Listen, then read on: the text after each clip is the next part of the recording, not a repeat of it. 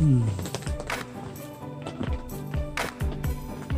온갖 잡동사니가 다 있지만 아 여기를 좀 정리하고 오늘은 여기서 아, 잠을 청해 보도록 하겠습니다.